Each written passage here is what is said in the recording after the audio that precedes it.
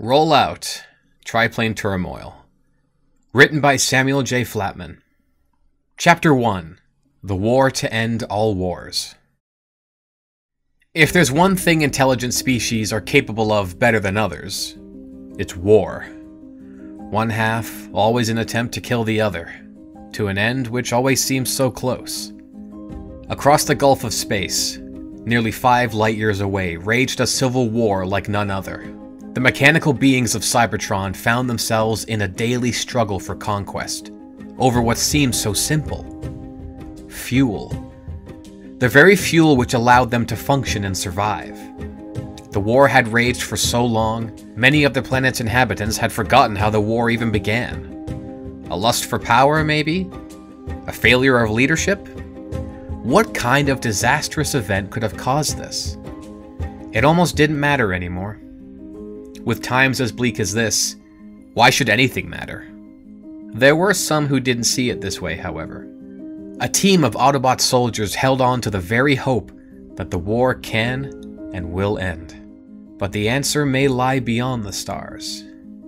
That is where Earth found itself nestled into this story. The year was 1918, and a war very similar to that of Cybertron's reached a tipping point. The war was coming to a close, but how? Maybe the strategies presented by the human race were the key? Trichotomus and his squadron surely thought so. And soon enough, they found themselves involved in a conflict that was not their own. High above the skies of Europe, a battle of skill and cunning took place. Fighter planes turning, looping, and diving in a furball of sorts. The elegant Sopwith camels of the Royal Flying Corps were an equal match for the fierce Fokker triplanes of the German Jagdstaffel. One of these triplanes sported a peculiar color scheme, with an all-red frame mixed with white along the tail and nose. This surely couldn't have been the famous Red Baron, for he was shot down weeks ago. No, this was someone else. The triplane wove in between the enemy aircraft, shooting down as many as possible. This pilot was a pro, and was surely going to make ace very soon. He confidently thought so. That was until he noticed all feeling in his body had suddenly vanished. Almost as if he had gone numb. In a panic, he looked down to his body, which was now dripping in blood. The cockpit and controls were covered. He had bullet holes in his chest and arms. The panic was intense, but it faded over time. He began to accept his fate before slumping low in the seat. With his blood-soaked hands free of the controls, the triplane entered a seemingly uncontrollable spiral, tumbling thousands of feet towards nothing but the soils of Earth. A few hundred feet from the ground, the triplane seemed to do the impossible. It had recovered from the spiral, all on its own. Spectators on the ground were convinced the pilot had gained consciousness just in time, but the landing that followed seemed too perfect, too flawless.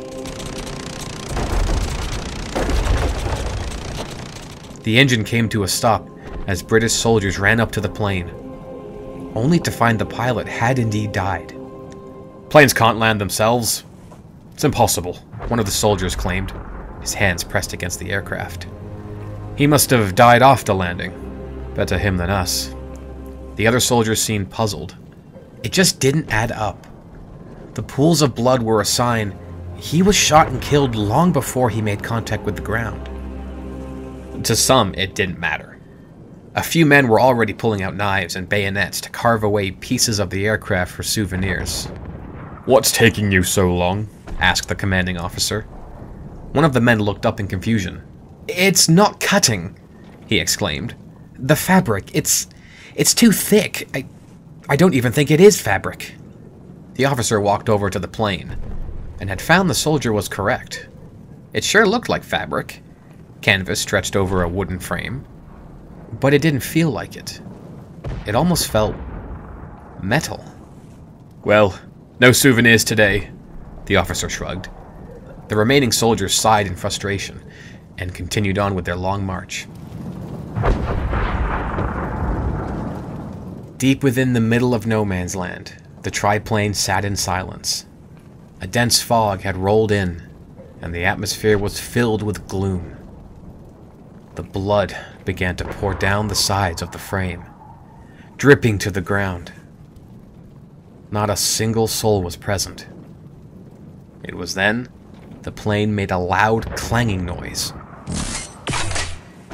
A robotic groan from another world as its frame shifted and moved along hydraulics and metal hinges. The plane was transforming. Its three wings spread along the back of the being. The nose of the plane became its chest as all the other pieces folded neatly onto the body. Trichotomus had revealed himself. He held the pilot in his hands, trembling at the sight of death. He worried his violent spiral had only increased his suffering, but it had to be convincing. He was a robot in disguise, after all. Trichotomus wasn't unfamiliar with the violence that accompanied war. But this was an organic being. Not a metal body filled with wires and circuits, but a flesh-covered human with blood and guts. Guts which were now hanging between Tri's fingers. The minutes turned to hours as Tri stood, his mind filled with grief. He had buried the body, following the human tradition which he had studied since his arrival. It didn't take long for Lafayette, Tri's second in command, to find him.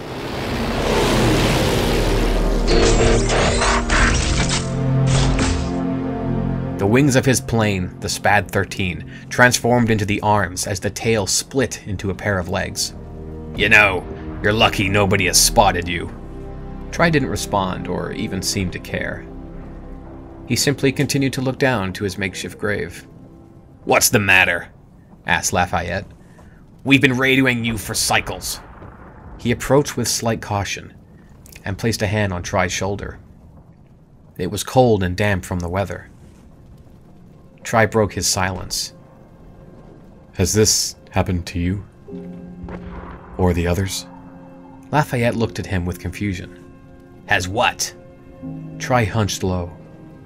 The guilt was holding his words back, but he had to pull himself together. Has anyone ever died while controlling you? Uh, no. Uh, my pilot tends to run whenever there's conflict. He takes advantage of the SPAD speed. Not quite sure if it's cowardliness or cleverness, really. Tri crossed his arms and sighed. What about the others? Bombard hasn't seen much action other than a few recon missions. Lafayette explained. Vega, on the other hand, did mention something similar. We've been waiting for you back at base, but when we didn't hear from you, Bombard and I went looking. This has been a lot of time wasted. Tri turned to him in anger. Wasted? He yelled. This was a living being, Lafayette. He deserved a better life than this. The least I could do was give him a proper burial. I, I wish you were a little more respectful of this kind of stuff. Lafayette raised his hands. I'm sorry, Tri. It's just, this is war. You know? I get it. But it can still be fought with grace. Chapter 2 Squadron 1 Both Trichotomus and Lafayette flew the miles required to make it home. They had built a base of operations using the remains of an old airfield and continuously flew out on missions daily under the name Squadron 1. Tri was the first to land, and upon transformation, he noticed Vega running over to him. She was a tall fembot with the wings of an SE-5A spread across her back and legs. Tri found himself within her arms, being held tightly. Vega was a rock, and the entire team relied on her being a rock. She placed a hand on Tri's face. Lafayette told us what happened. Are you okay? Do you need anything? Trichotomus shook his head and buried it in Vega's shoulder. Lafayette felt somewhat uncomfortable by the display of emotion. His efforts to remain emotionally unattached from the war had left him incapable of affirmation, but he did what he could. You'll be alright, Tri. I promise it'll get easier, said Vega, her arms wrapped around him. You did the right thing burying him. It's not just that. My pilot killed so many. With my guns, my body. I let it all happen. Vega held Tri by the shoulders, forcing him to look within her eyes. We're not allowed to intervene. That was the rule. Remember? It's not your fault. Has this happened to you? Tri asked. Vega hunched low and spoke softly. It has. In fact, I've lost two pilots this way. Why didn't you speak much of it? It's something we have to accept, Vega replied. I wish we could stop this whole thing, and I've even thought about forcing my pilots to miss. But I just can't. Uh, guys, where's Bombard? asked Lafayette. He's not responding to my comlink, and he's way overdue by now. The cloudy gray sky made visibility extremely difficult, and the fog was of no assistance. Bombard, sporting the alternative form of a Bristol fighter bomber, flew low above the muddy ground at high speed. His flying was sporadic and his turns violent. It appeared as though he was fleeing from something. Something dangerous that was closing in fast. Bombard aimed his rear facing machine guns, an advantage the Bristol fighter had been given, as a three winged plane emerged from the fog, firing its machine guns. Trichotomus? he thought. But that didn't make sense. Why would Tri fire at him? As the triplane got closer, he could make out the details on the wings.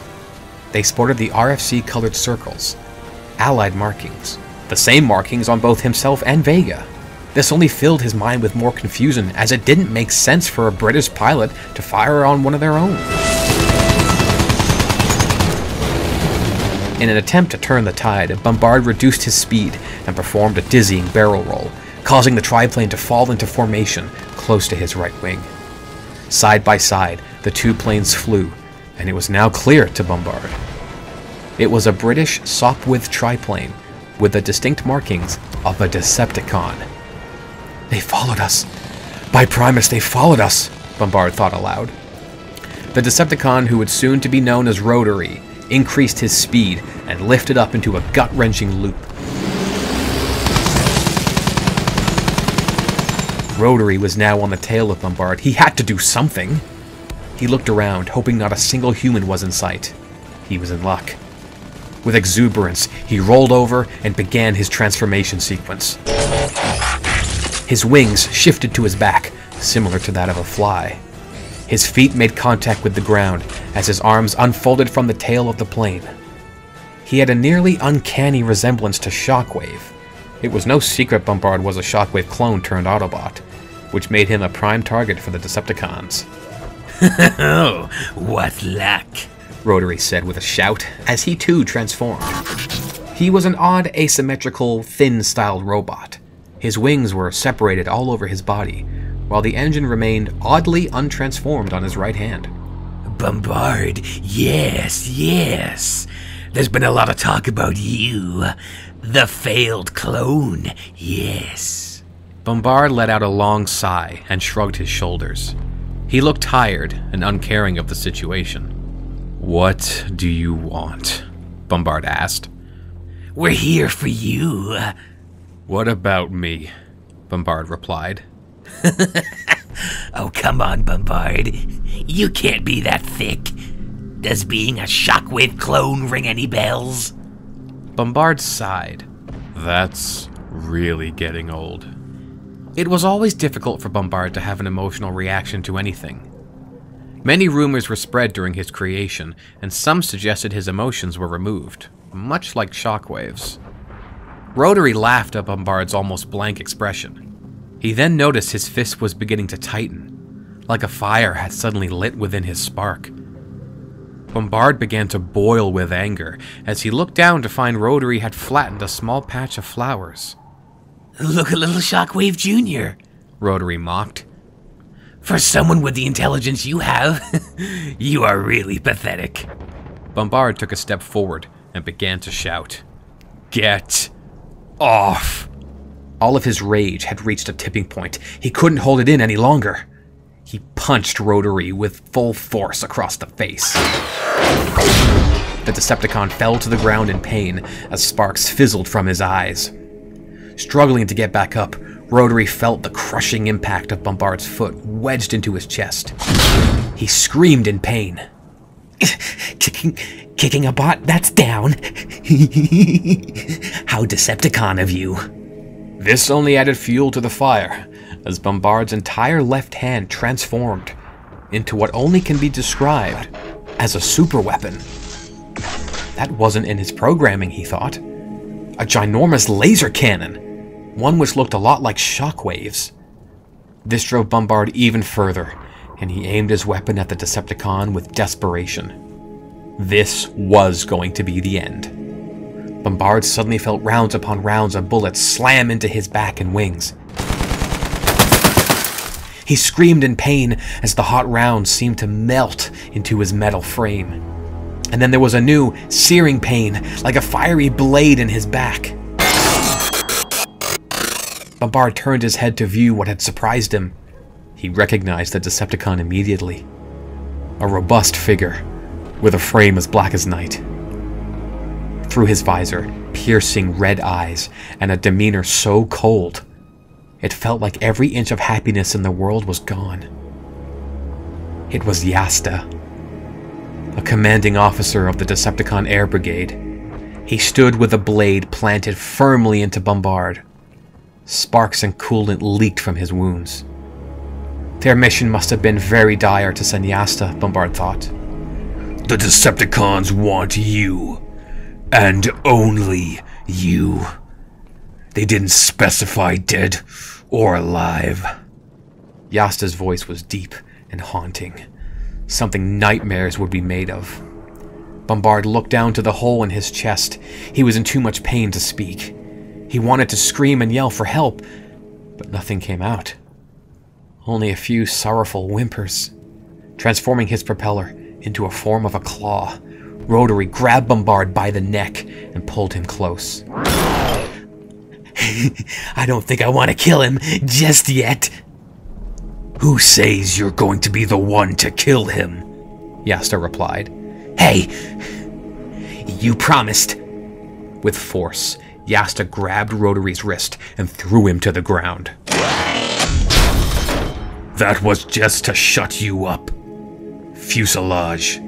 He's all yours. The pain overwhelmed Bombard, and he dropped to his knees, disoriented, wheezing.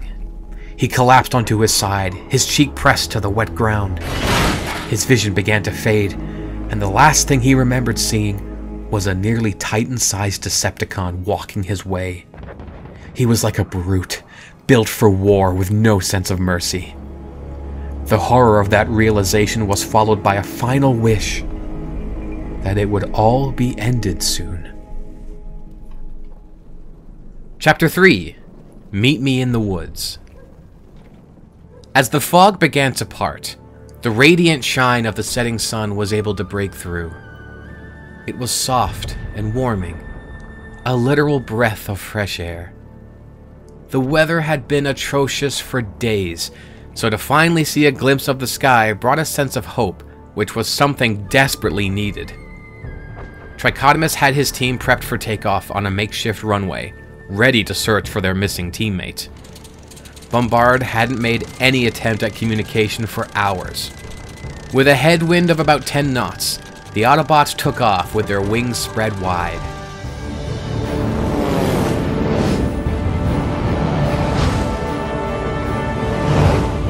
Flying in a triangular formation, Tri took the lead with Lafayette to his left and Vega on his right. This type of formation flying was another human strategy adopted to the Autobot Air Command. The staccato clatter of their engines echoed through the sky. We keep together this time. Tri's order chattered through the comlink. Lafayette inched closer to Tri's wing. You sure you're okay to fly? We have to find him. That's all that matters right now. Tri rocked his wings and began a wide left turn. The others followed suit. Complemented by the orange glow from the sunset, the open fields of Europe were a beauty. It seemed to bring a calm over the team, despite being somewhat on edge. They had no suspicion of the Decepticons, nor do they have any reason to believe they would have followed them. He must have gotten lost in the fog, they thought. Now that it was clear, they'd surely find him. But their confidence soon turned to concern as the minutes passed. Vega, you're seriously not picking up anything? asked Lafayette. Equipped with a telescope mounted just forward of the cockpit, Vega was able to look slightly further than the rest. All she could see were clouds and open fields. No sign of Bombard anywhere. This was getting ridiculous, Tri thought. Something bad had to have happened to him. It's not like Bombard to drop off the radar. Having flown a considerable amount of miles, Tri relayed an order. You've got better eyes than us, Vega. Pull ahead and let us know if you spot anything. Vega waggled her wings in reply, then increased her throttle. Tri and Lafayette watched as she began to gain some distance from them.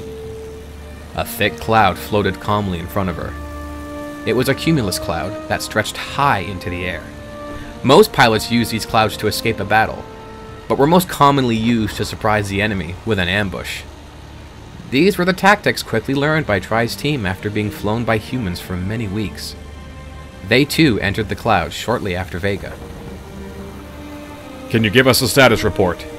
Asked Tri. A few seconds went by as there was only silence over the radio. He tried again. Vega, do you copy? What can you see? Vega's voice suddenly burst through the radio. We've got Decepticons! The cloud began to part as Tri and Lafayette made their way out. Up ahead, they could see Vega mixing it up in a swirling dogfight.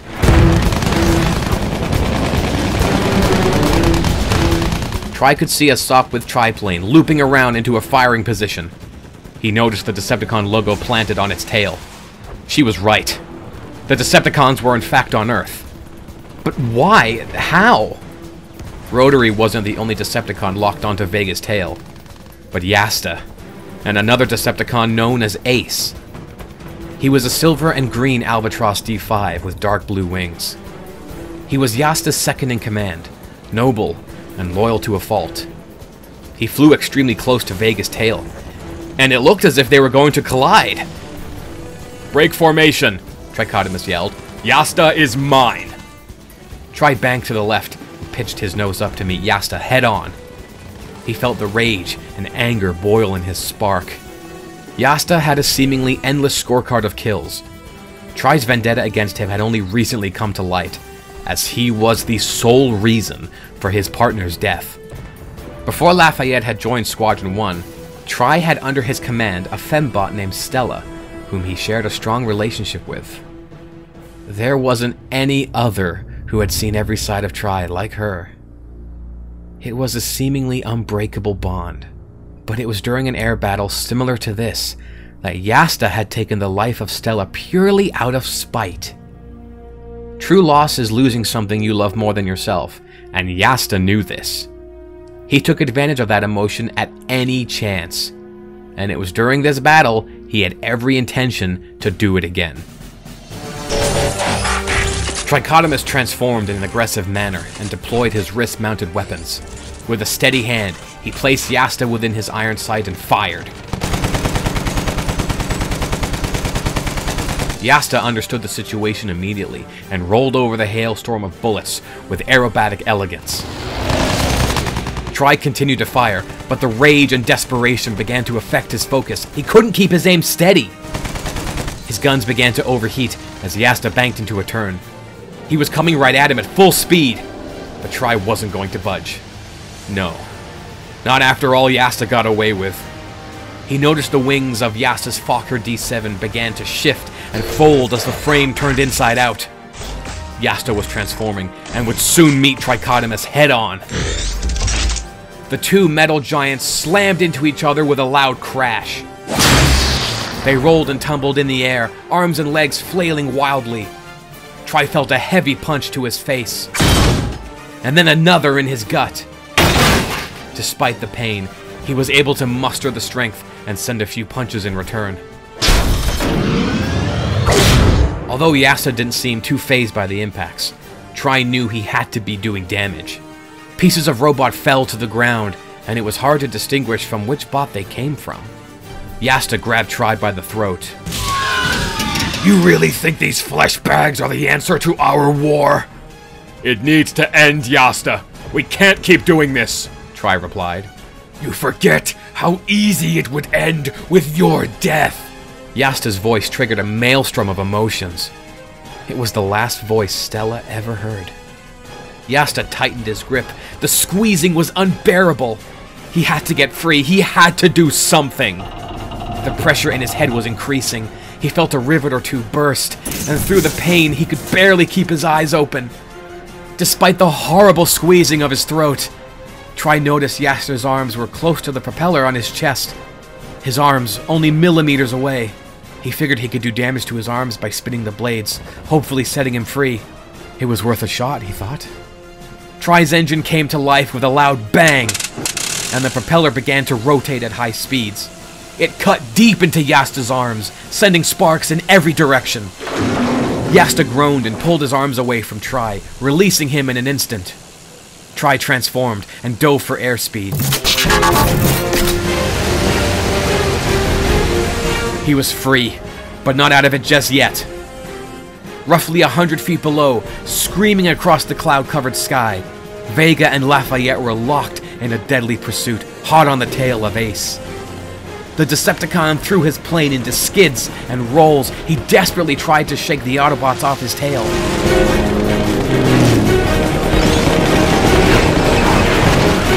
I've got this! Give Tri a hand! Vega yelled. Lafayette could see Trichotomus in the struggle as Yasta was getting the better of him. He wondered if it was safe to leave Vega, but he knew she was a crack shot. She'd never missed a bullet in her life. He broke formation and zoomed skyward, transforming in the process. His gun shifted onto his shoulders as he opened fire. Below, he could see Vega continue her chase. She fired her two machine guns, and Lafayette knew this would be the end of Ace. Except it wasn't. She had missed! And she kept missing. Every single bullet that came out of her guns flew way beyond her target. This was strange, he said to himself. Vega never missed. But there she was, firing upon this Decepticon as if it was her first time in combat. Ace wasn't flying that sporadically, even an amateur could make those shots. Come on, Vega! What are you doing? Lafayette yelled over the radio. Vega's response came through. Just having a little fun with him. Lafayette paused. That wasn't like her at all. It was always quick and easy kills with her. He barely had time to ponder the situation before suffering an incredible blow to his chest. Yasta had taken advantage of the distracted Autobot and landed a firm punch, cracking the metal frame of Lafayette. As the battle raged on, Ace pitched forward and began a steep dive, his wings buffeting and shaking against the resistance of air. Vega followed close behind, from hundreds of feet to merely a few meters, the chase came to a surprising end over a grassy field. The blades of grass shook from the prop wash as Ace brought his plane in for a landing. This would have been the perfect shot for Vega, an easy target. But she also slowed her engine and landed on the very same field. The two planes rolled along the ground, bouncing over the uneven terrain until they eventually came to a stop just before the entry of a tall forest. Ace transformed first. His wings folded back like a cape. His right arm and leg were revealed to be crude, unevenly built prosthetics. No doubt this Decepticon had seen the worst of the war. He ran into the forest, looking behind him as he kept an eye on Vega. Diving through the trees, she ran after him, somewhat laughing to herself. Ace didn't see the fallen tree only a few steps ahead of him as he tripped over it and fell face first into the mud. Vega approached him, laughing hysterically. Her laugh was contagious. He couldn't help himself but join in. He brushed the mud off his face and arms. Without a second of hesitation, Vega opened her arms and hugged Ace tightly. This hug was more than something friendly but like a reunion of someone you had loved for years. What are you doing here? Vega yelled, a smile growing on her face. I had to come. Yasta would have had you all killed if I wasn't there. Ace's voice was soft and caring. Vega had always wished Ace would join the Autobots. He chose his side long before the war, siding with Megatron and soon fell under Yasta's command. I can't believe you're here. How? How did you find me?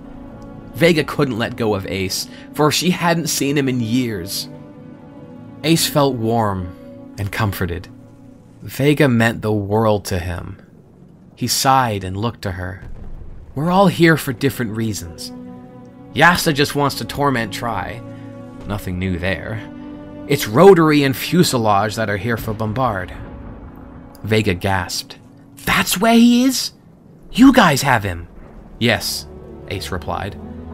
He's a Shockwave clone, therefore he carries Shockwave's level of intelligence. But that intelligence combined with the fact he's had Titan class weaponry installed, the Decepticons fear him. So naturally, they want to use him. That makes sense, said Vega, her arms now crossed. He doesn't know much about the things he can do. Hold on a second, Ace interrupted. You knew?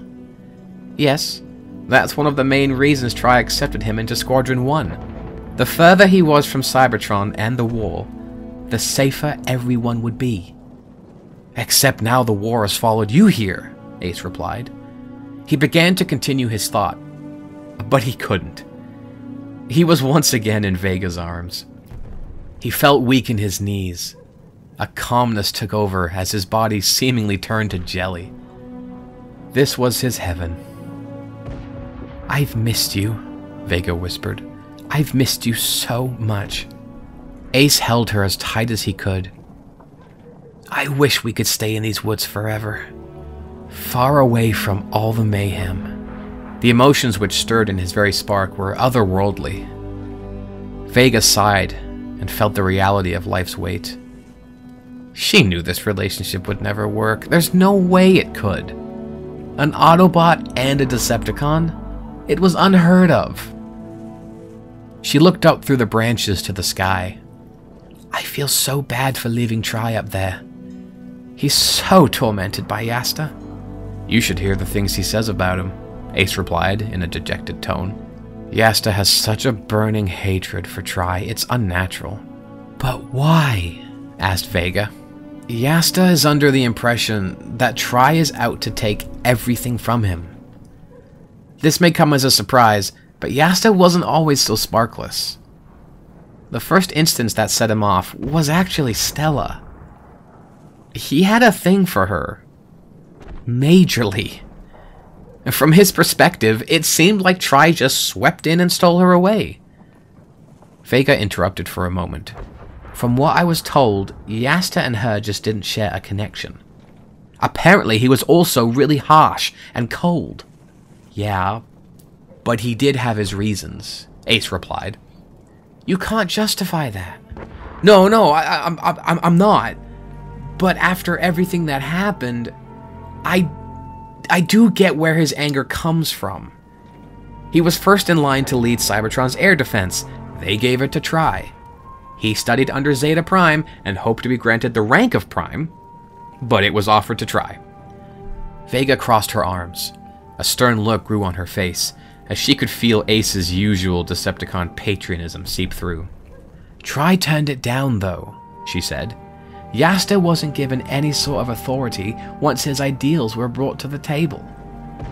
Ace felt his body tense, as he knew another argument was brewing. He and Vega would go back and forth, juggling ideals and propaganda. It wasn't just the war that kept them apart, but their goals for Cybertron. It's his ideals that helped take Cybertron back from the Quintessons, he argued. Ace, can we please not? Vega replied in a worried manner. It's been years. I don't want to start this now. Please. The atmosphere fell silent for a moment, as Ace and Vega looked deep into each other's eyes. This was all the evidence they needed to confirm their worries. It wasn't going to work but they would die trying if they had to. Vega caressed Ace's head in her hand and gently rubbed his cheek. they're they're keeping Bombard at our base at these coordinates in the ruins of an old zeppelin. Ace said, sounding almost defeated. He held up a hologram of their airfield along with its precise location. I can't leave Yasta, but I'll do what I can to ensure your team's safety.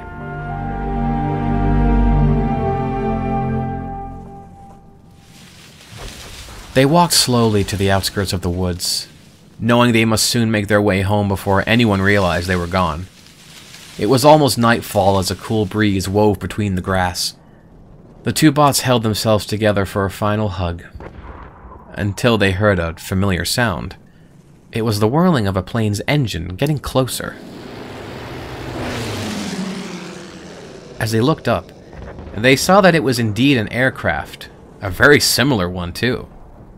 It was a SPAD, very similar to Lafayette's alternative mode.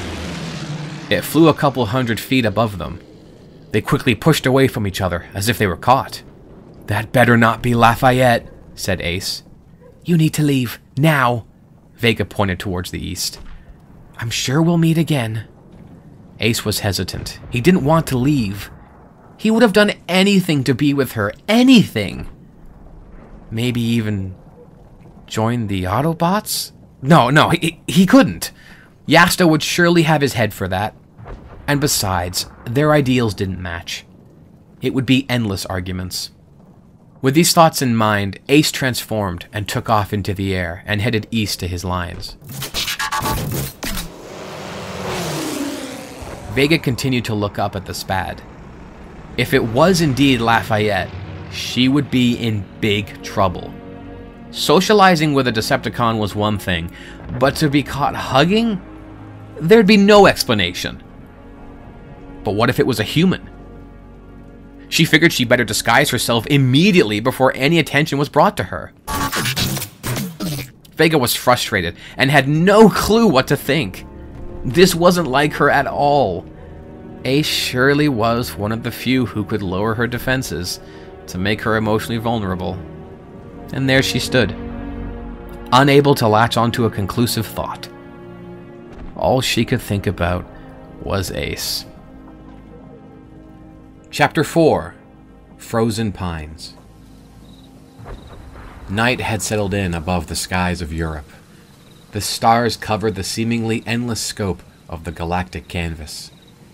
It was only a few minutes past the midnight hour as Vega sat quietly in her alternative mode. A few crickets could be heard in the distance in contrast with the rumblings of mortar shells and trench warfare. It was cold. Very cold. Vega had grown increasingly concerned of her state of emotions, not to mention the possibility of being caught by Lafayette. There was also the overwhelming guilt she now faced. She had abandoned the mission and thought there was no way she would ever be forgiven. How could she? Tri and Lafayette were left alone to face the Decepticons, and not to mention the complete disregard for Bombard. She was given vital information about where they could find him, and yet there she was, burying herself in her own self pity. The mental anguish was exhausting. In the distance, Vega began to notice a soft glow heading towards her. It moved slowly and seemed to bump along the field. It was a car. As it got closer, she recognized its distinct shape and number of wheels. Instead of the usual four, it had three, like a tricycle, only constructed backwards. The Morgan runabout approached Vega cautiously and circled her plane, almost as if it was inspecting it. It's me, Tri. Vega's voice broke the silence. The two bots transformed and almost sank into the wet soil below them. Trichotomus was a triple changer, one of the very few, and he often used his Morgan alternative mode to avoid being attacked by human piloted aircraft when they were suspected in the area. Tri let out a sigh of relief. I'm so glad to see you're safe. We would have attempted radio contact, but our battle drew a lot of attention. The humans arrived pretty quick, so we had no choice but to get out of there. We assumed you were hiding yourself. Yeah, that's that's that's why I've been here, Vega said, almost as if she was trying to convince herself. What happened to Yasta and the others? We used the clouds for cover and made our escape before the Humans Air Force arrived, Tri replied. I can only hope Yasta did the same. Otherwise, those poor humans would have been nothing but target practice for him. Vega had only one question on her mind, but she had to ask it carefully. She broke eye contact with Tri as it was difficult to lie to him. I chased Ace around the trees for a while, but I did get a little info out of him before he got away. Tri's eyes widened. Info? Tell me. They have Bombard, but I know where to find him, said Vega as she displayed the information Ace had given her. It looks like they constructed a base out of a crashed Zeppelin. It's surely big enough for that. Trichotomus looked to her with confusion. It was incredibly unlikely any Decepticon would divulge such information within a short amount of time. Explain to me how you were able to obtain that, Tri ordered. Ace has always had a soft spot for the Autobots.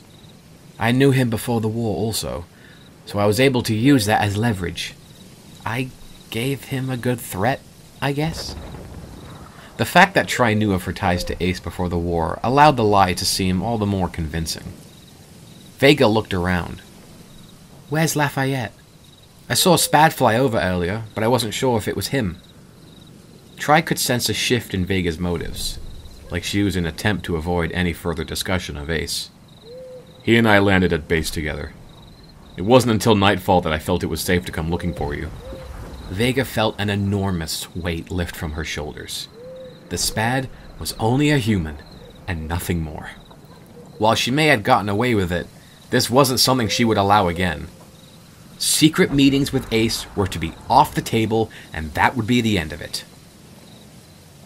Far beyond the horizon, the flashes of gunfire and bombings were like lightning.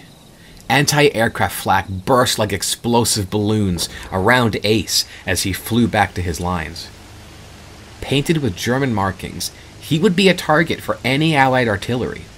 He would need to cross the German lines if he was to escape the barrage. His mind was fixed on a number of things at once. It would be easy to turn around and surrender himself like he had thought about a thousand times. He could be with Vega, and the others would surely protect him. But it all felt wrong. He wasn't just loyal to Yasta, but to the vision of the future set forth by the Decepticons. The flak bursts finally came to an end as Ace could see the Zeppelin only a few more miles ahead. It looked as if it had crashed many years earlier, as most of its framework was exposed, like an industrial skeleton. It was within its body that the Decepticons had constructed a makeshift base of operations. Ace came in for a smooth landing and transformed. Fuselage approached and blocked Ace's path with caution. He was tall and robust, with the engines of a Gotha bomber constructed as his shoulders, while the wings were spread across his body like plates of armor. Ace raised his arm and began to display a series of holographic words. Don't worry, I wasn't followed. Have the others returned yet? Fuselage shook his head slowly. Despite being the team's heavy weapons expert, armed to the teeth with explosives and ammunition, he never spoke. It wasn't so much he lacked the intelligence, but the capabilities.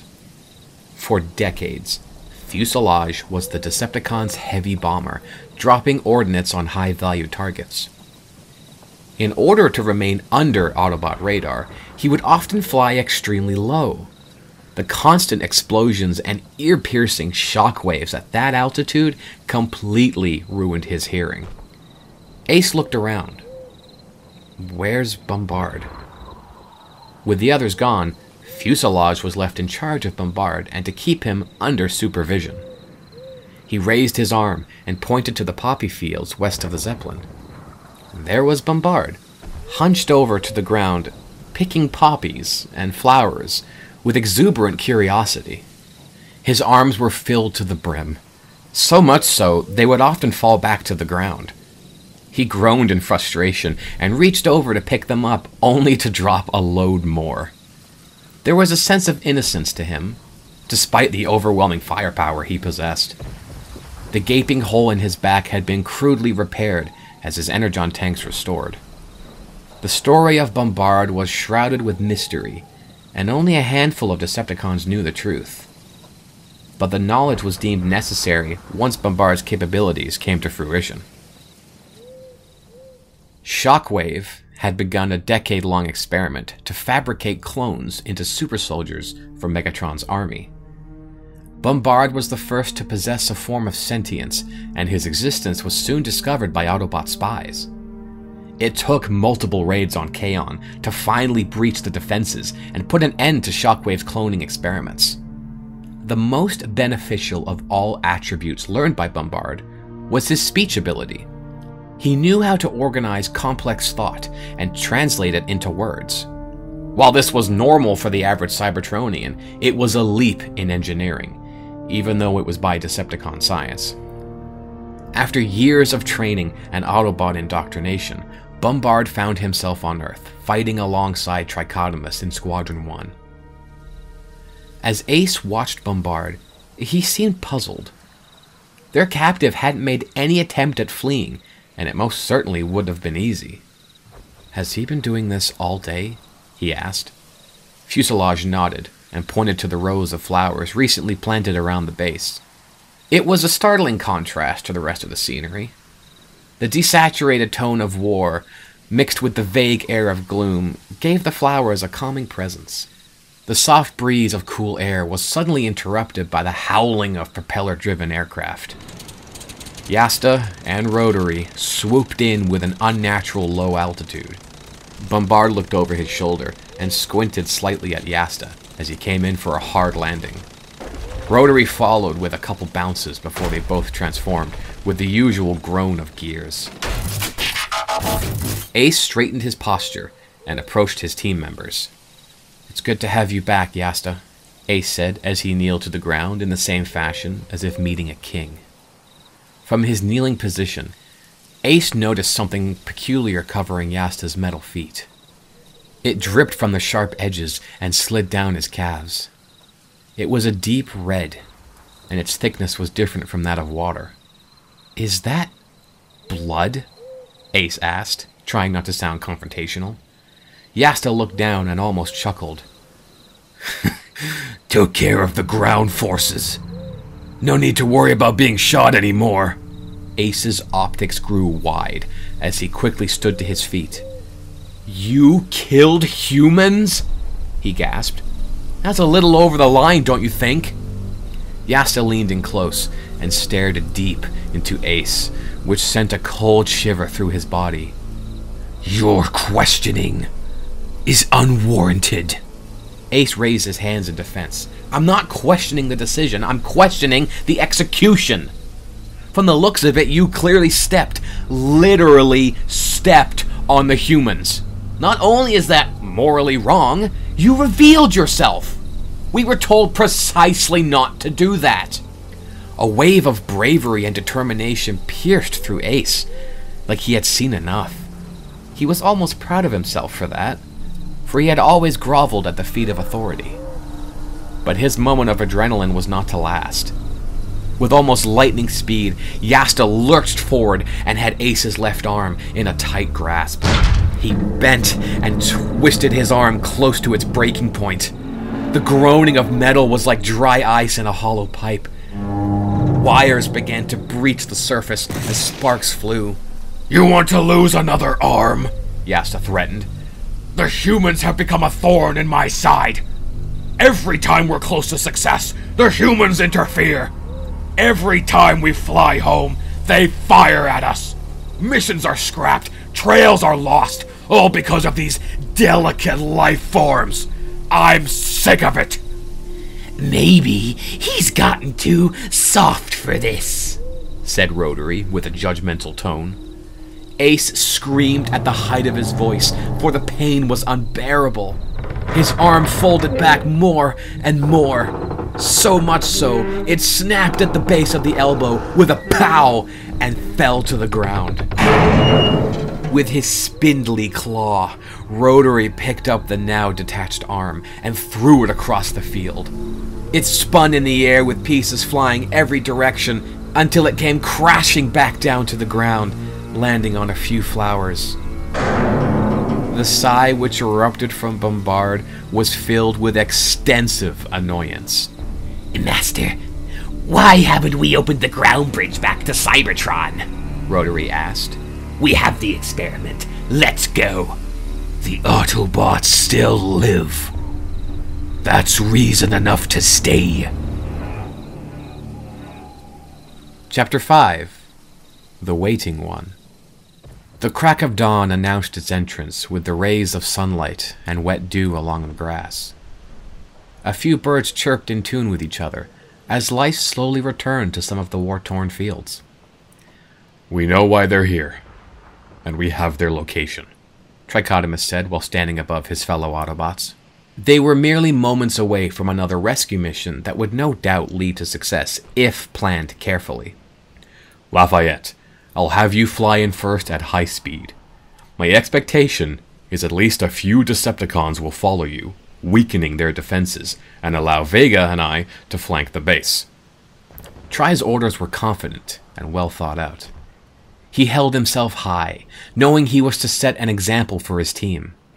Vega raised her weaponry. I'll need a few cycles to reload. I'm pretty much empty. Tri nodded and ordered Lafayette to assist her. The two bots walked over to one of the many hangars scattered across the aerodrome. Tri didn't move or make a sound. He waited for them to get just out of sight. And once they did, he collapsed to the ground. His legs folded into his gut, his arms wrapped around themselves, as he began to shake. It was intense and almost violent. The confident leader broke down as his aura of hope was shed like a cocoon. The stress of the world, his responsibility to the team, and the fear Yasta instilled all weighed on him like a thousand black holes. Tri continued to rattle in his frame until he realized he was still out in the open. He couldn't let the others see him like this. Tryon took heaps of air to hopefully cool his overheated systems and bring his energon pressure back to normal. It was just enough to get him to his feet and over to another hangar where his breakdown would continue. In the ammunition hangar, Vega sat comfortably on an engine block while Lafayette rummaged through old crates for bullet belts and rounds. It's always best to load your own belts, said Lafayette. Half of these bullets are bent, and our guns jam.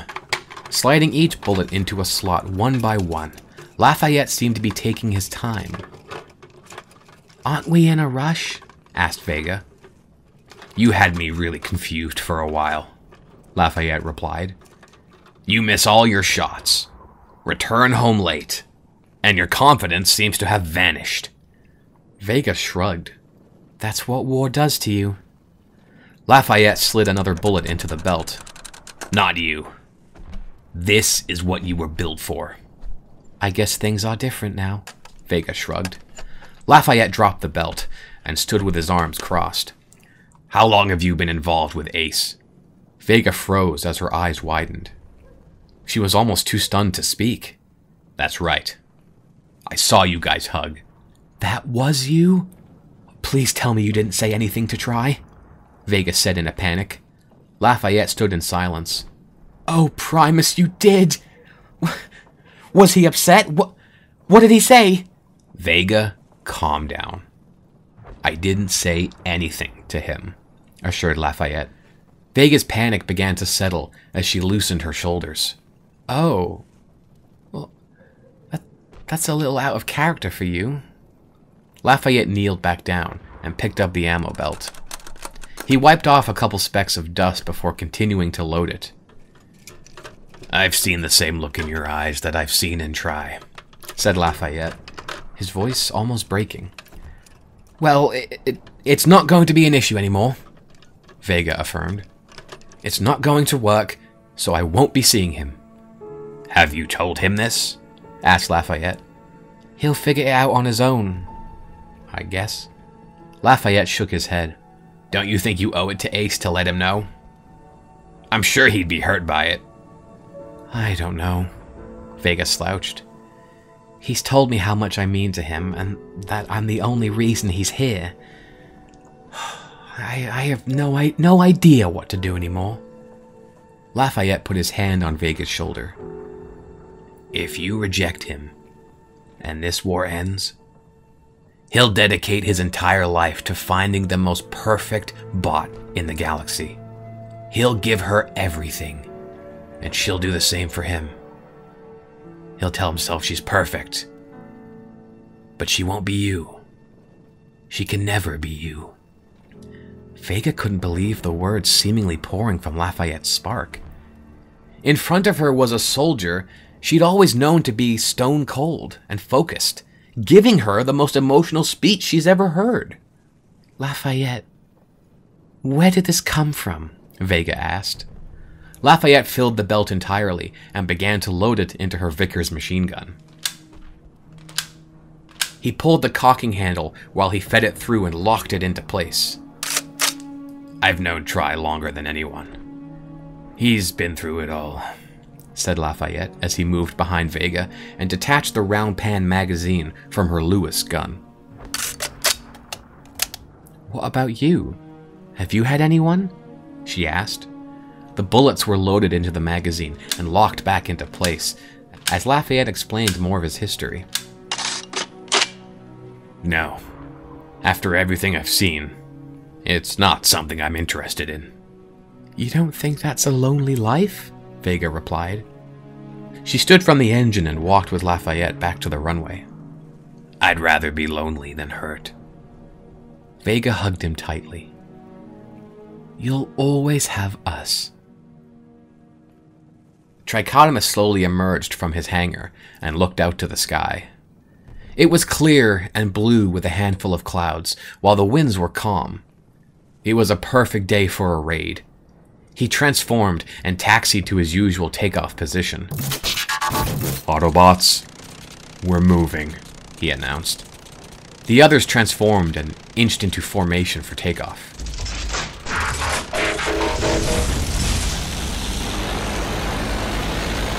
Each member of the team was uncomfortably quiet during the flight, but each had their own reason. Trichotomus was engaged in an all-out war with himself, one which he feared he would lose. Vega knew she would be confronting Ace once again and would have to come to terms with her own emotions. At the tail end of the formation, Lafayette felt mentally vulnerable. Almost too vulnerable, as he had never shown that side of him to anyone. It was a long flight, and they all carried their own trials and weight.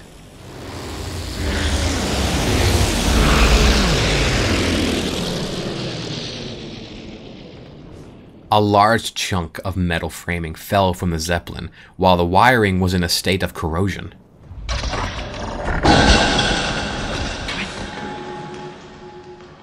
Each and every flower was trampled and crushed under Yasta's foot. In an attempt to control his anger, Bombard had made the effort to weld Ace's arm back into place.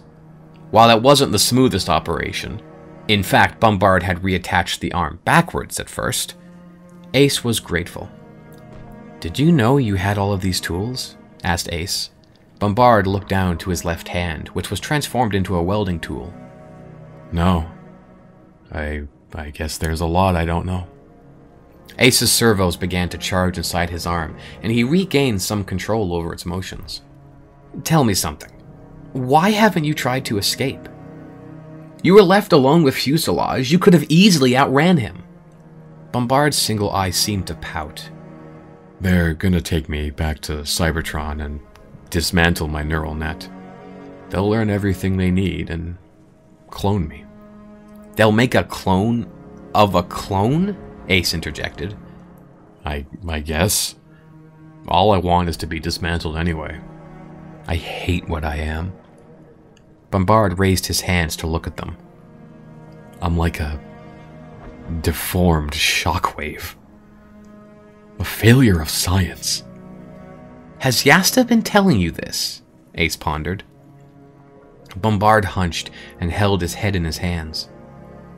Yasta said a lot, and helped me see the truth about myself. Bombard, you can't listen to him. You do, and now I see why you've had parts rebuilt over and over. Bombard's words were sudden and stung with a deep bitterness. Ace twitched with frustration. What am I supposed to do? Go join the Autobots, Bombard countered. I'm sure Tri will accept you. Especially Vega. You. You know about that? Ace stuttered. Vega and I talk, Bombard replied. I know of your history. I just put it together. Seriously, go join them. Yeah, right. Do do I want to leave Yasta? Of course. Can I? No. I'm still a Decepticon at heart, Bombard. I can't just change who I am. You sure? Bombard opposed. You've got some ethical morals that Yasta has been twisting against you.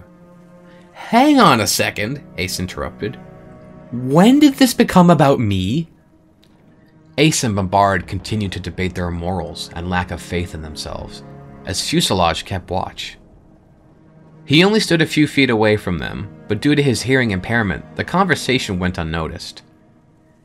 In the distance, Yasta could be seen laying into Rotary. He tumbled to the ground and was kicked in the gut, splitting it open to reveal wires and electrical components.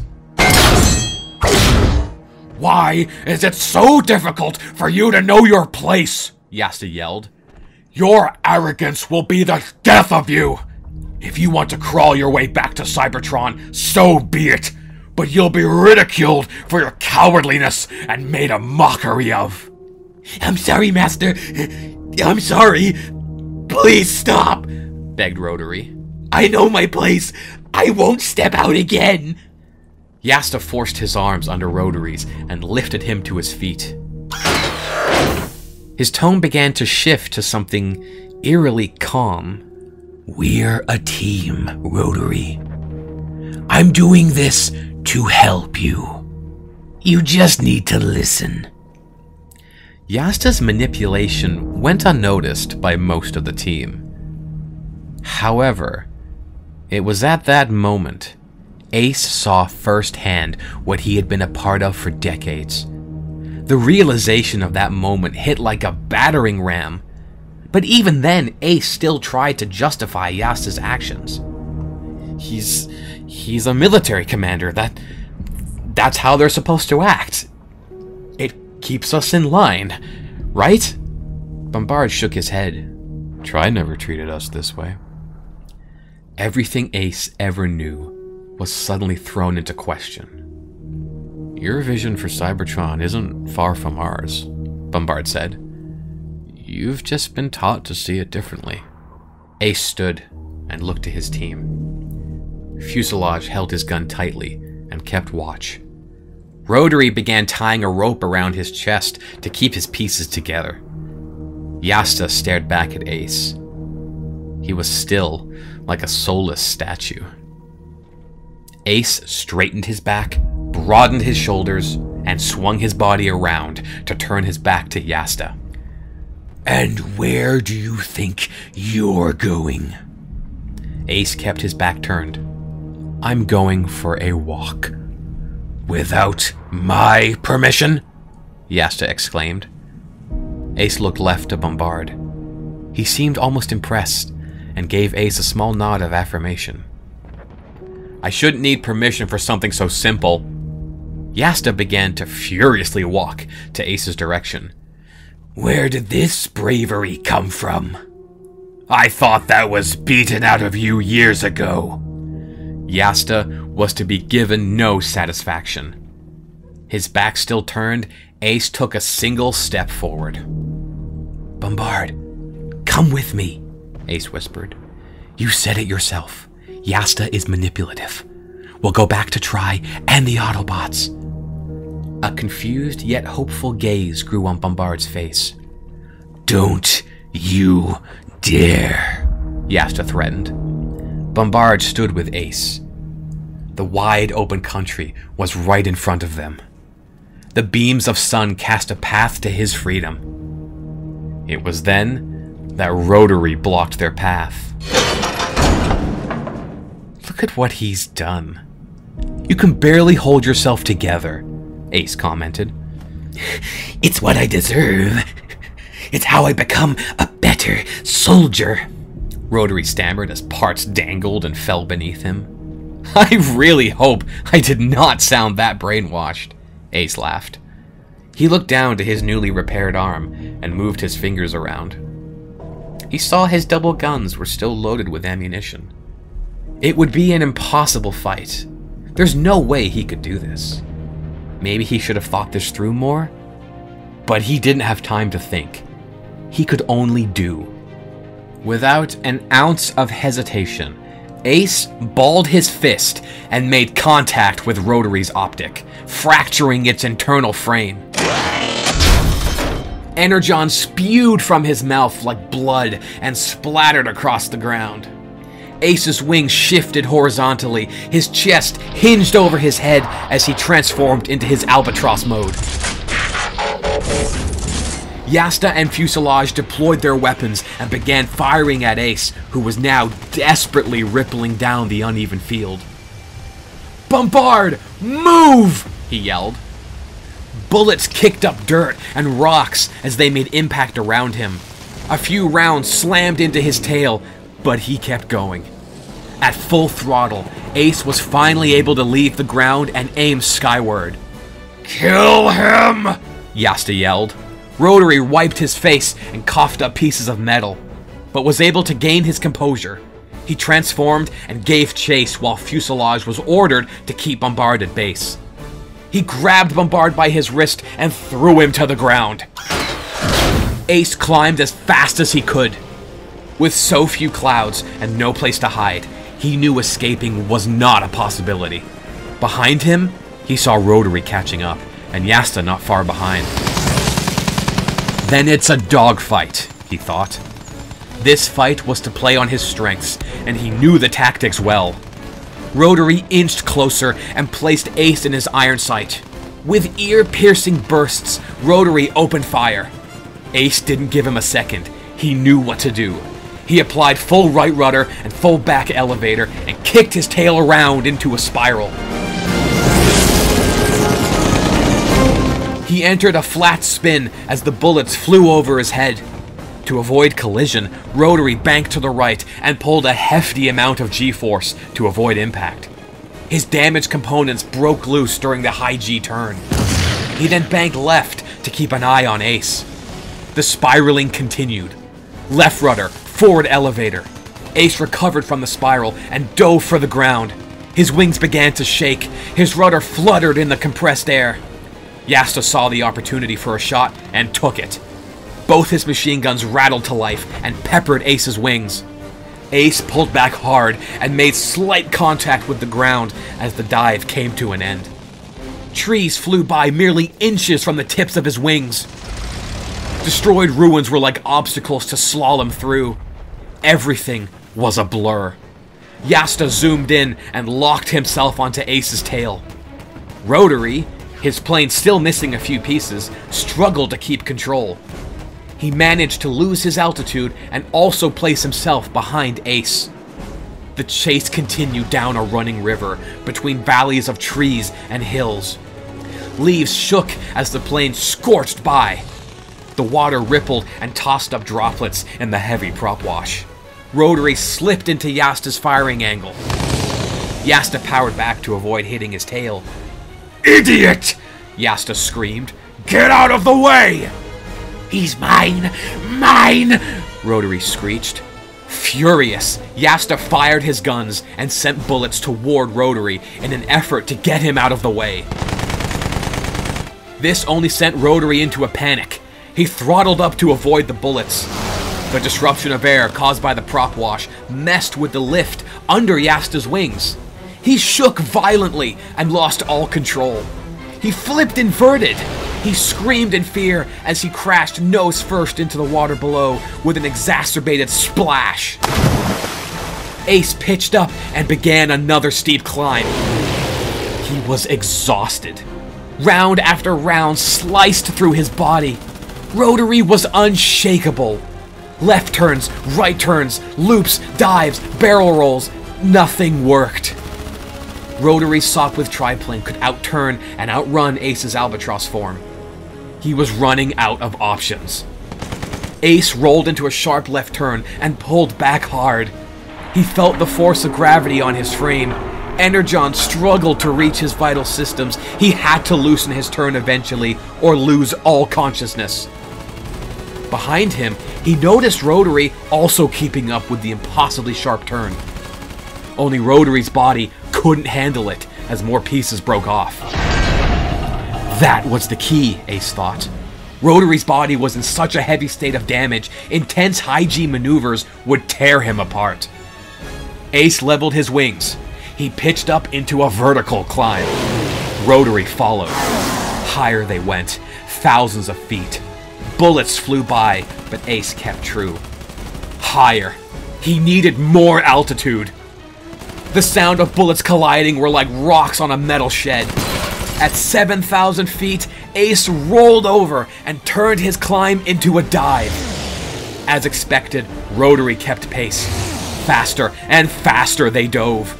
Ace felt as if his entire body would suddenly break apart. Their alt modes weren't designed for this kind of flying. His speed increased nearly double. Rotary's shaking was almost unbearable, but he wasn't about to end his pursuit. The ground was getting closer, closer by the second. More gunfire, more bullets. There was an overwhelming amount of adrenaline. From 7,000 feet to merely a couple hundred, Ace knew it was time to pull up. His plane responded sluggishly while he fought the resistance of air. The wires within his wings snapped, his body bent, his rudder hung by a single hinge. The pullout took every inch of strength, and he nearly blacked out. Rotary realized what was happening and also pulled back. Ace managed to avoid the ground once again. Rotary wasn't as lucky. The force on his body was too much. His wings bent, cracked, and broke free. Parts fluttered in the air like flakes of snow. He was a wingless plane diving for the ground as if he was an unstoppable missile.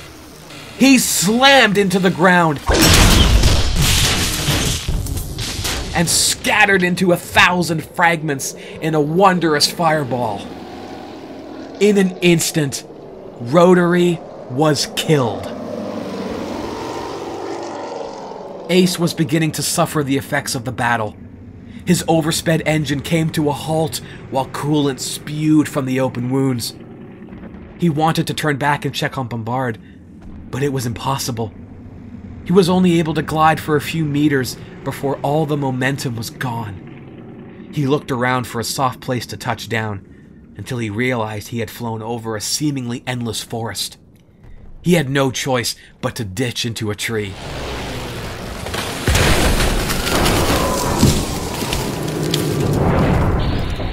Down he went, slamming into branches and wrapping himself within the leaves and twigs.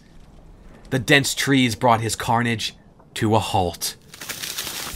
And Ace became wedged between two thick stumps a few feet off the ground. He was entirely alone. A few thousand feet above the forest, Lafayette had an enormous lead ahead of the others. He was to swoop in low above the Decepticon base and cause a distraction. Far in the distance, he noticed what appeared to be a funnel of smoke rising from a wreckage on the outskirts of the trees. Lafayette pitched forward and flew in for a closer look. It was Rotary. He recognized him immediately. Circling back, Lafayette could see a few fallen trees and a trail of damage. It was clear something had crashed there and he decided to investigate. Tri. I'll be slightly behind schedule, he radioed. Can you patrol the area until I'm caught up? Will do. Tri responded. Keep me posted. With a soft landing, Lafayette transformed and squeezed his way into the forest.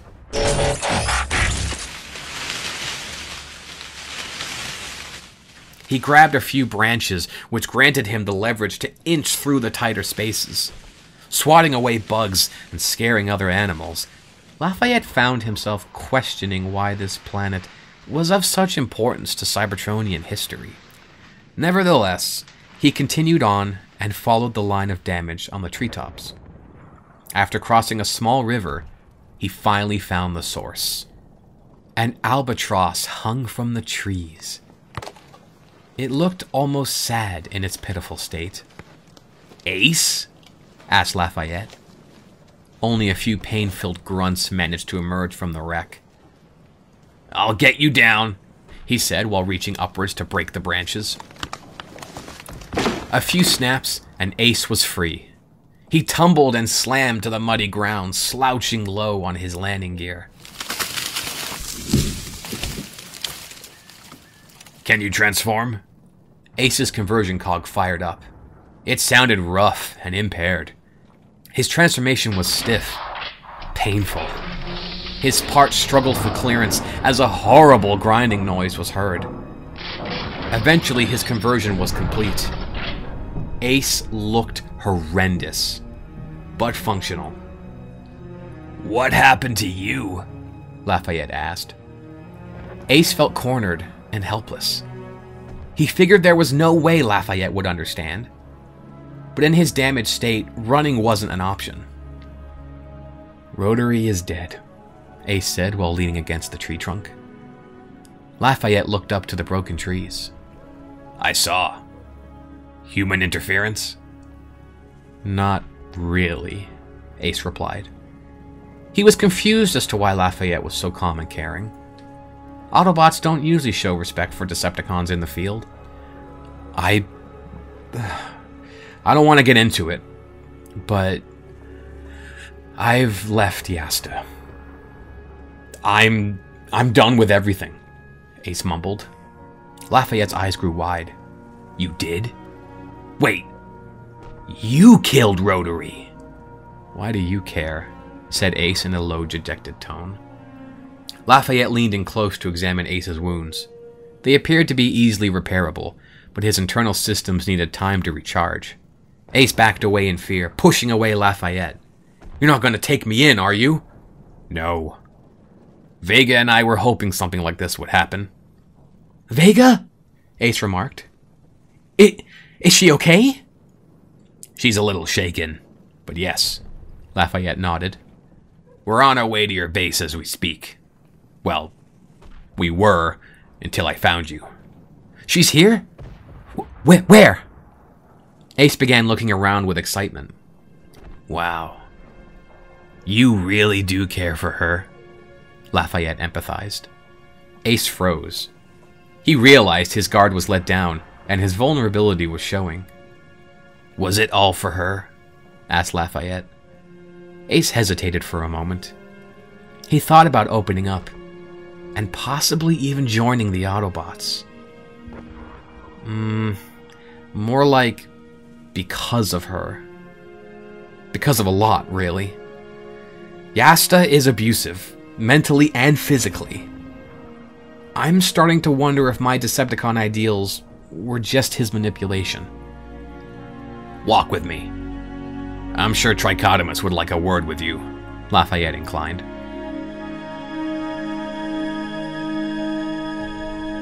Chapter 6 Unbecoming Trichotomus and Vega waited by the outskirts of the forest.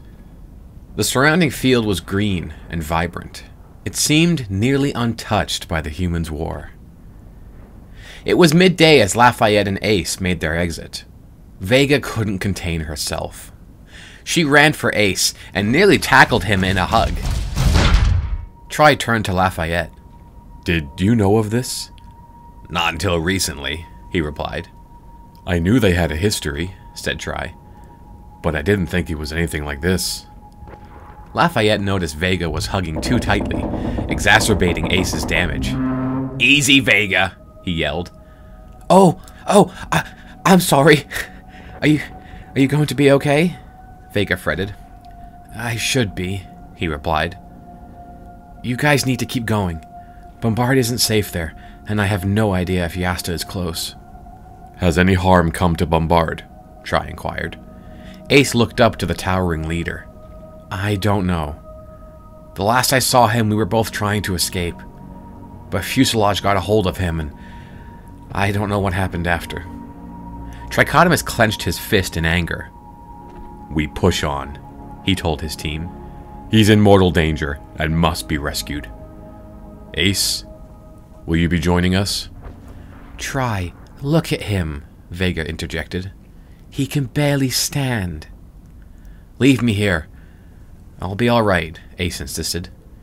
Trichotomus began to reply, but the movement of the wheat field in the distance caught his attention. There were sounds of heavy footsteps. They sounded wet and mushy. Something was clearly approaching. Or someone. The suspense grew as a dark figure appeared. It was Yasta, saturated with water. It dripped from every curve and crevice. The water seemed to turn to steam as Yasta's body filled with the heat of rage.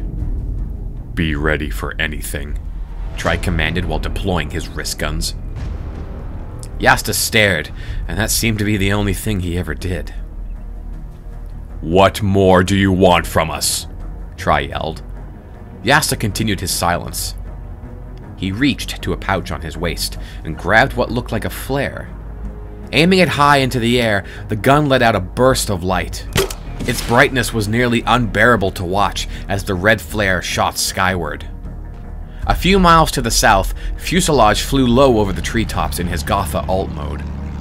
It was a large twin-engine biplane bomber with darkened camouflage patterns suitable for night raids. Fuselage turned a few degrees left and matched his heading with the flare. Yasta had marked his position. Back on the ground, Vega brought her telescope to her optic and looked closely. Oh, Primus, she exclaimed. He's got Bombard!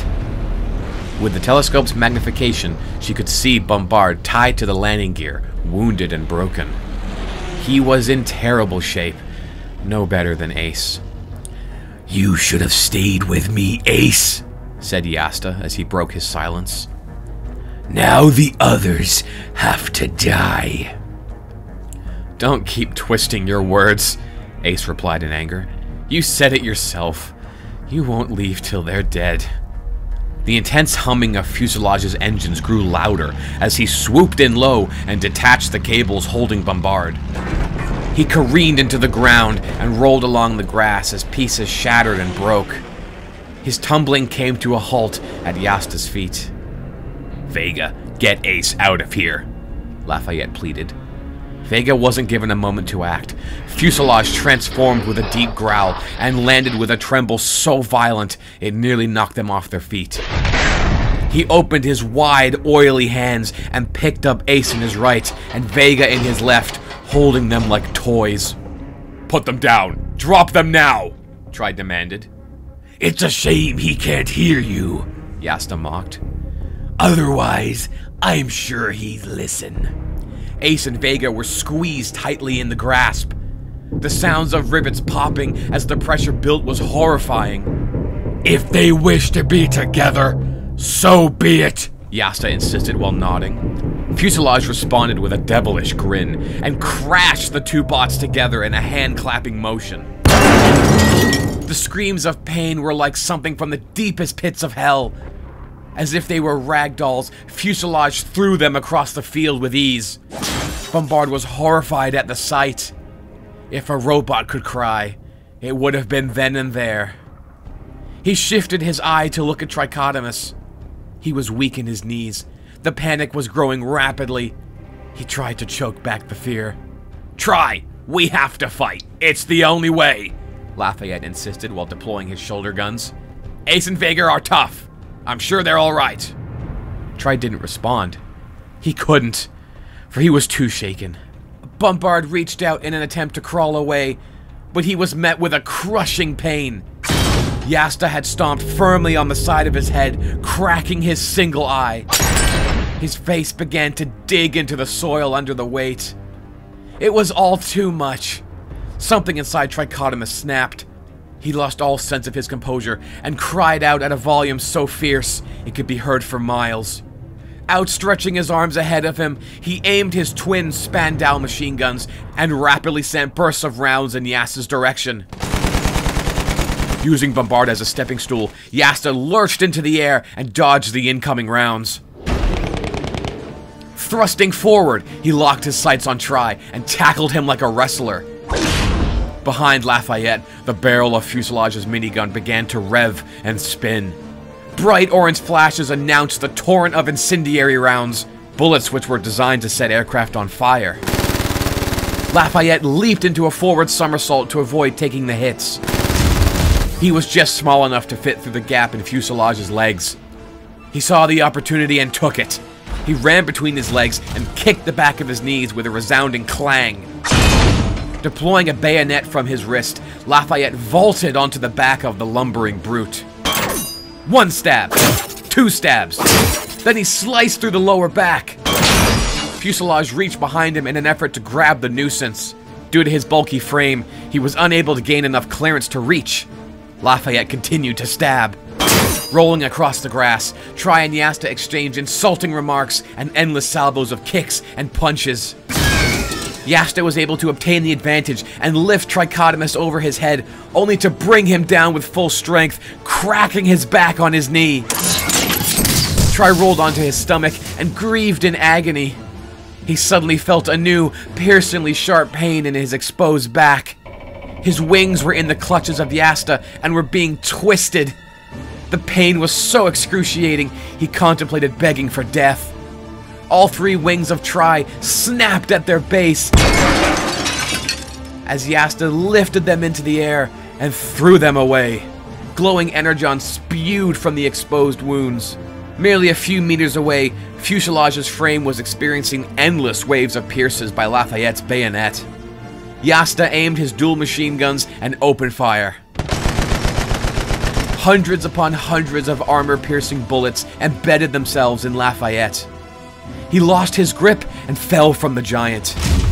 Both Tri and Bombard raised their heads from the ground to watch the horrific sight as Fuselage picked up Lafayette and began to pull him in opposite directions. He howled as he felt his body break into two pieces. His spinal servos dangled in the waterfall of Energon. Yasta laughed maniacally. His sick mind enjoyed the gore which followed. That's all he ever wanted. The pain and suffering of others was like a drug to him. The life began to drain from Lafayette. To his dismay, he held enough consciousness to witness his own demise. Yasta brought down his foot with ultra precision and speed, crushing Lafayette's head, leaving his facial structure in a concave fashion. Bombard couldn't take it. All the violence, all the energon spilled in countless high tension and anxiety. He let out a blood-curdling scream of pain as he felt his insides rearrange. His red eye narrowed like a tight aperture on a lens. His hands folded into his forearms, and what replaced them were weapons of mass destruction. The same ones outlawed by Autobots centuries ago. His right arm deployed a riot cannon, while his left, a pulsar blaster. His entire body shifted into a walking war machine. Bombard's chest split open and converted into a warp cannon. From his back erected two heatwave lasers. Missile launchers revealed themselves on his shoulders, and for the first time in decades, Yasta felt the same fear he had birthed in others. Trichotomus had known of Bombard's capabilities, but never saw them up close. A part of him was almost convinced they were simply rumors. But on that day, he understood why Bombard was a high-value target. The warp cannon within Bombard's chest began to glow with a purple charge. Yasta and Fuselage took a step back. Bombard knew his target, locked on, and fired. A giant ball of hot plasma and electricity shot from his chest and flew with high velocity. Yasta leaped out of the way as the shot made contact with the ground. It erupted in a vibrant explosion like a supernova, leaving a perfect crater-like indent on the field. Fuselage began to wind up his minigun, but was interrupted by a single shot to the head. It pierced through his brain, leaving a perfect hole. It sparked and smoked as his gun fell from his hand. With a booming thud, Fuselage collapsed to his knees and slowly turned his head to the direction of the shot. He saw a small flash of light, and then nothing. The glow in his eyes flickered and came to an end. It was only seconds after his death that the gunshot was heard. Vega, Tri whispered to himself. Despite the incredible pain, Tri somehow rose to his feet while Energon leaked profusely from his back. Bombard launched rockets and missiles. Yasta desperately tried to avoid the incoming explosives, but it was to no avail. His chassis burned with the impact of multiple rockets. There was pain all over his body as he found himself within the apex of a cone of gunfire. Riot cannon rounds from Bombard, sniper shots from Vega, and endless waves of bullets from Tri. Yasta became an unrecognizable cloud of smoke and fire. Screams of pain and terror were drowned by the ungodly levels of damage. Tri looked over to Bombard and noticed his body was beginning to destroy itself. It wasn't designed to sustain such heavy weaponry for that long. Bombard, hold fire! He yelled. You need to stop! But Bombard didn't listen. He kept firing. Suddenly, his eye burst from its socket. His left arm separated from the body, and streams of energon and steam began to leak like a fountain from the cracks. Bombard, you're going to kill yourself! Stop! Tri yelled again. Bombard realized what was happening. He knew he had to cease fire or risk overloading his systems even more. Eventually, all gunfire had come to a stop. Bombard had suffered catastrophic injuries and collapsed in a pile of broken parts. The echoing sound of the battle began to fade out of existence. And as the smoke cloud cleared, all that remained of Yasta were a few wires and an optic. He was ash, burnt to a crisp. He was no more. Pitiful whimpers of immense pain broke the silence. Trichotomus looked over to the crippled Bombard and ran to his aid. Are you alright? What hurts? Tri asked with a panic. Everything! Bombard screamed. His entire body was charred and broken. Servos and wires dangled in the gaping holes. His eye hung on a single cable. Circuits blew like small explosive charges, and he was in critical condition. Vega! Tri yelled. I need help. We need to stabilize him. From across the field, an extremely wounded Vega could be seen limping her way over to them. Ace followed not far behind. Keep pressure on these areas, Tri said as he pointed at the two largest corroded holes. Vega felt uneasy as Energon began to leak through her fingers as she plugged the cavities. From her position, she saw the holes in Tri's back. What about you? You need just as much help, she said. Just keep applying pressure, Tri ordered as he stood and frantically looked around. With the little strength that remained, he ran to the lifeless carcass of fuselage and dug deep into his back. He searched for any extra components that would help. Energon compressor valves, servos, gears, anything. He ran back to Bombard, nearly tripping over his own trail of leaking oils and fuel. Vega noticed Tri had also collected a tube designed to transport Energon through their bodies. Let me do it, she said, picking up the tube and inserting it into her arm. An Energon transfusion had begun, while Tri used what little knowledge he had of basic Cybertronian biology to fix Bombard. Lafayette? Vega asked in a dejected manner. Tri only shook his head. Vega closed her eyes and hung her head low. It took a while, but Ace was finally able to catch up with Vega. Tri looked over to the east and could see a convoy of trucks, tanks, and soldiers. I don't know if it's safe to move him, he said. But we drew a lot of attention. The humans are coming, and quickly. Into the forest. Now. Tri commanded. It was painful, but the team managed to lift Bombard and carry him in. He was dropped a few times as Tri's knees began to buckle. Ace felt as if he would pass out, and Vega's focus was lacking due to her energon reserves being shared. The entire team collapsed on themselves, only a few feet in the forest. But it was enough to go unnoticed by the humans. Tri, Ace said. We're gonna die out here if we don't get help. Tri struggled to respond. I'll send a message to Autobot Command. He sounded weak and drowsy. His eyes began to open and close while he slipped in and out of consciousness. He's going to pass out, Ace panicked. Send the message, Tri! Hurry, Vega shouted. It was no use. Tri seemed to faint and lean to one side. His head collided with an exposed tree root with a sharp crash. No, no, Tri! Wake up, please! Vega begged.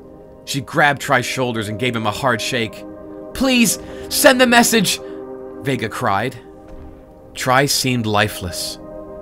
There was no response. Vega looked over to Ace, who could no longer stand. He wouldn't last much longer. Neither would Bombard. She felt entirely helpless. She hung her head in her hands and was overtook by a sea of sorrow. Her mind raced through her options, but none would offer an instant solution. Under the sound of her whimpers, a slight radio static announced itself. She looked through her fingers to find the sound was coming from Tri. With eagerness, she leaned over and discovered the static was originating from one of his antennae. Muffled voices of panic became comprehensible between the low frequencies. A rush of excitement and hope surged through Vega as she grabbed Tri's antenna and forcibly decoupled it from his helmet. She brought it up to her audio receptors and could make out the voice of an Autobot commander. Hello? Does anyone hear me? asked Vega in desperation. A voice broke through the choppy signal. Yes, I read you. Are you in need of assistance? Yes, yes, we are, Vega shouted with relief. One member killed in action. The rest of the team is down. We need immediate medical assistance. What are your precise coordinates? The voice asked. Vega felt her sparks sink. She had no idea where they were. Um, I. I don't know. A few clicks north of our landing zone? Can you give a rough estimate? The voice replied. I don't know! Vega cried. We're in a forest somewhere north. That's all I know. Please. The radio went silent for a moment. Please, Vega begged under her voice. We're sending someone now. Don't move. Thank you, she shouted. Thank you so much. She fell to her back and let out a sigh of relief as the radio went silent. They're coming, Tri. Don't worry. Vega was the only one conscious at that point, and she feared her team may never awaken. Minutes went by. She scanned the forest. Nothing. Not a sound or a sign. Please, she whispered. Please. The seconds were an eternity. Everything was slow. Like the forces of time had picked this single moment to last forever. She knew better than to give up, but those thoughts lingered. Then, as if it was on cue, the sound of an engine began to grow. Vega looked deep into the forest and squinted, hoping to find the source of the sound. Bushes rustled as the object pushed its way through.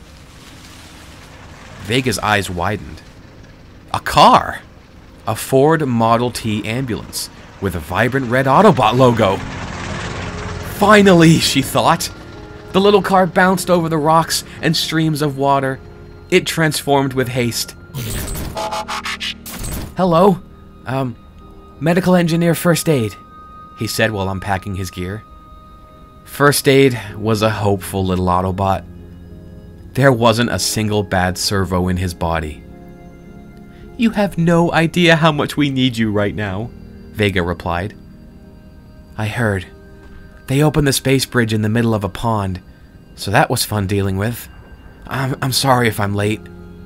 No, no, it's fine, it's fine, said Vega with a hopeful tone. Um, both Tri and Bombard need energon and patching. Ace needs new actuators. What about you? First Aid replied. What can I do for you? A vacation? Vega laughed. First Aid chuckled and began his repairs.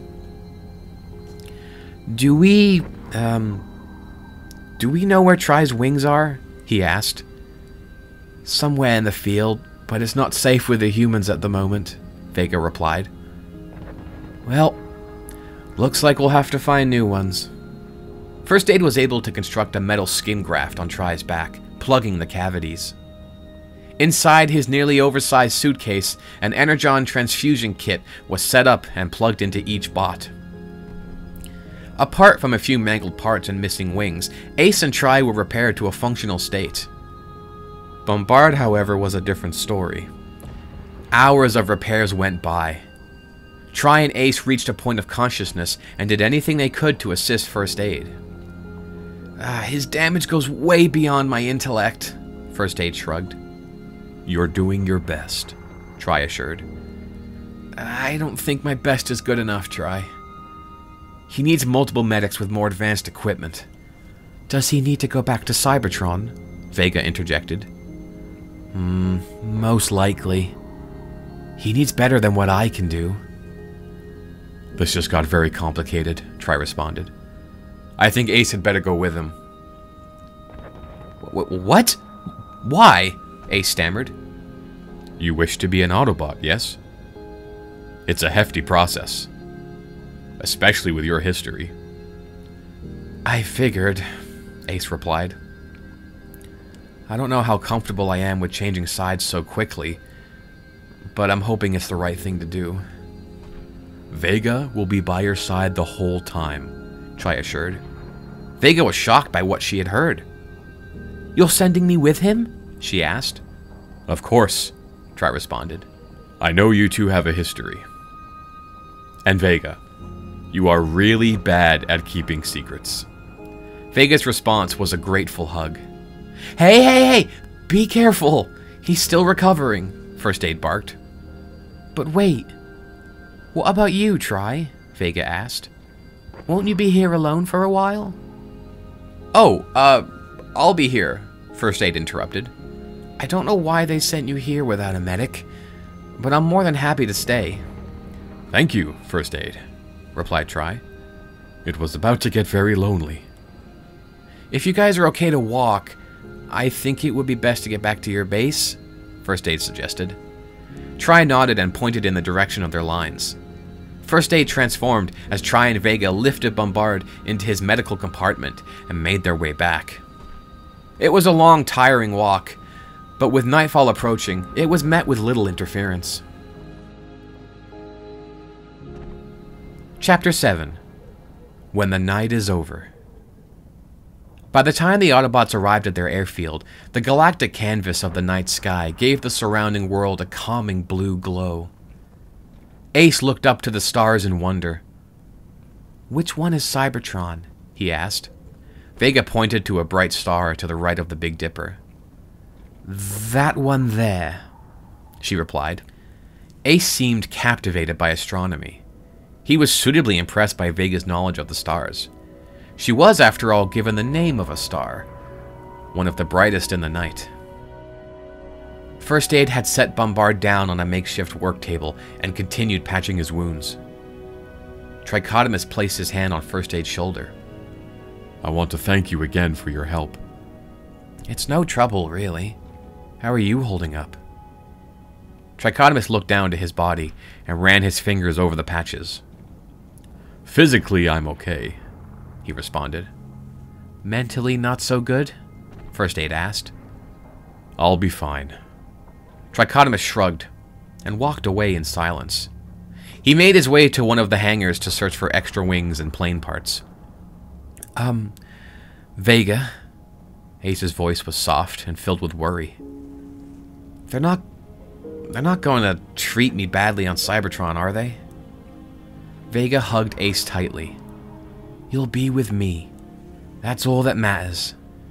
But, to be honest, it's going to be a rough start. Bombard raised his hand. It worked out fine for me. Rest, Bombard, First Aid insisted. I don't want you moving more than you need to. Ace chuckled. Thanks, Bombard. I'll take your word for it. Digging into his case of tools, First Aid pulled out a magnifying glass and looked deep into Bombard's neural net. When are we expected to go back? Bombard asked. There's a few tests I still want to do, First Aid responded. I don't want to send you through a space bridge if your body can't handle the warping effects of wormhole transportation. How long will it take? Mm, at least until morning, said First Aid as he began to measure Bombard's spark rate. While we're waiting, can we do something for Lafayette? asked Ace. The team agreed and constructed a makeshift headstone out of airplane parts. Engraved in Cybertronian, it read, Forever in our sparks. A soldier, a hero, a friend. Lafayette. To ensure no human would interfere, it was buried halfway into the ground. Each bot took turns saluting the headstone and said a few words about their fallen comrade. It was an emotional night, but one which brought the team closer together. Ace saw for the first time true Autobot interaction, what team building really was. A few chirping crickets filled the night with their song. It was calm. Laying on their backs, Vega and Ace continued their stargazing. What's that one? Ace inquired. That one, I believe, is Virgo, Vega replied. She pointed to another section of the sky at a much brighter object. And that really bright star there is actually a planet. Where? Ace asked. Right there. The, the bright one. She pointed again. I'm not seeing it. Ace raised his finger. Is it that one? Vega humorously sighed in frustration and grabbed Ace's head to physically point it in the direction of the planet. There! she yelled. Oh! I see it now. Yeah. Ace grinned. That's Saturn, the seventh planet in the solar system, Vega explained. When we were first scouting Earth's location, I flew around each and every planet collecting information. What for? Ace asked. Just for myself, really. I love astronomy. As time went by, the land seemed to drink the sky as the sun peeked its rays over the horizon. Morning had come, and a calming mist hovered over the grass like a blanket. First Aid was in the middle of attaching new Fokker triplane wings Trichotomus managed to gather when the day started. The rest of the team was ready for departure. It was a somber yet hopeful morning, for Tri knew he had to say goodbye. He hoped it wouldn't be forever. First Aid pressed a button on the side of his head. Wheeljack? Picking me up? They're ready to come home. After a few seconds of silence, a bright flash of blue light suddenly erupted in front of him. Bolts of lightning struck in every direction during the ripping of the fabric of reality. The space bridge had been opened. Is Bombard safe to travel through? Tri asked. It's gonna hurt, but he'll survive, First Aid responded. Bombard smirked. Very comforting. Well, this is goodbye then, Vega lamented. You did excellent, Vega, Tri replied. Do be sure to relay our examinations on human warfare to the Council. Vega nodded. I will. Ace, I know this wasn't easy for you, and I'm sure there's still doubt inside. Tri place his hands on Ace's shoulders. But you have proven yourself. Fight for your place alongside us. I hope to see you again. All of you. The team gathered in a group hug and shared a moment of silence. All right, all right. You guys get going. Tri insisted. That space bridge won't stay open forever.